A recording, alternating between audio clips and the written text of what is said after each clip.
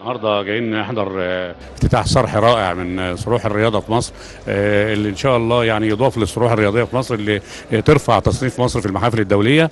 إحنا شايفينه استاد رائع جدا ومناسب جدا حتى للبطولات الدولية. وبنفخر ب- ب- ب- بتعمل حاجات زي مصر. ويا ريت كل المنشآت اللي تتعمل تتعمل طبقا للمعايير الدولية وتعمل فيها كل الاشتراطات الحديثة. أعتقد إن إحنا كده البنية التحتية المصرية الرياضية تبقى كويسة ودي اللي تكمل المنظومة الرياضية في في مصر. الحمد لله تم امبارح التعاقد مع الأستاذ كامل أبو علي آه، إن مصر إن شاء الله في الموسم القادم هنا في انتظار باقي الموافقات الأمنية وإن شاء الله تبقى خير بإذن الله وتبقى بداية جديدة للنادي المصري من وانتهاء معاناة عناها من خلال من سنين آه، في آه، الملاعب البعيدة. سعيد سعادة غامرة بتواجد في صرح رياضي يضاف للصروح الرياضية اللي تم تشييدها خلال السنوات الأخيرة. آه، زي ما تابعنا امبارح وأول زيارة اللي عملها رئيس اللجنة الأولمبية الدولية توماس باخ لمصر ولقائه مع السيد الرئيس عبد الفتاح السيسي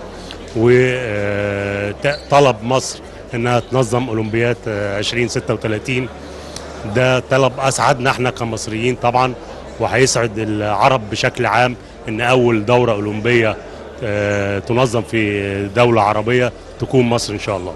بالتأكيد إحنا أمام آه، منشأة رياضية عملاقة فيها كافة الخدمات اللي بتخدم على أي بطولة سيتم استضافها سواء في كرة القدم أو في ألعاب أخرى. شفنا ملاعب الهوكي الصالة المغطاة المنشآت اللي هي مصاحبة أو خدمات المصاحبة للملاعب المراكز الإعلامية.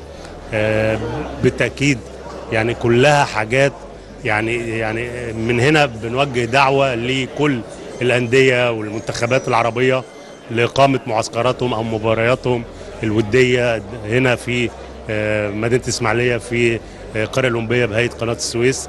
آه، بالتأكيد آه، يعني حاجة فاخرة. وصرح كبير وجميل يضاف للرياضة المصرية. نشكر سيادة الفريق أسامة ربيع اولا على الدعوة اللي أنا يعني جيت النهارده أنا مبسوط ان جيت شفت ال- الإمكانيات اللي موجودة على أعلى مستوى. آه، لا شك إنه إضافة لل- للرياضة المصرية بشكل عام لأنه لا يتوقف نشاطه على آه، كرة القدم بس لا الألعاب الأخرى.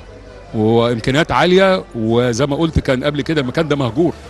آه، بعد كده إن شاء الله آه، هتلاقي جماهير كتيره هنا وهتلاقي الناس كلها بتتهافت إنها تيجي هذا المكان الجميل اللي فيه كل الإمكانيات. و...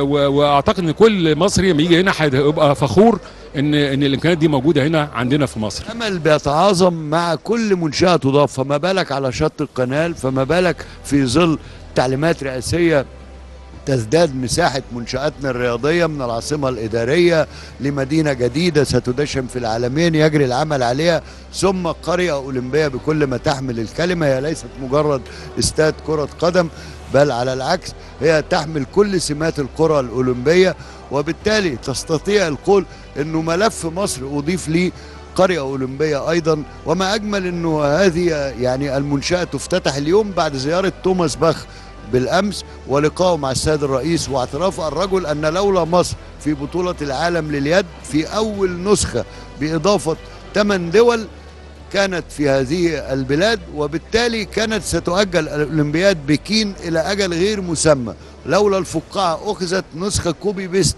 لتطبقها اليابان بحذافيرها حتى تصل إلى ذروة أن تقام الأولمبياد وبالتالي كان نجاح لمصر التي شاركت لمجرد المشاركة في هذه الأولمبياد. طبعا ما حصدنا من الميداليات آه، وقتها لكن الكل حول العالم الرياضي الكرة الأرضية الرياضية اعترف لهذا الوطن. وما أجمل أن يكون اللقاء بالأمس معبر لما السيد توماس باخ كما علمنا أكد للسيد الرئيس أن مصر قادرة بالفعل وأن تاريخها وحاضرها ومستقبلها جديرين مع منشآتها بإن إضافة نقط إضافية لملف مصر إن شاء الله.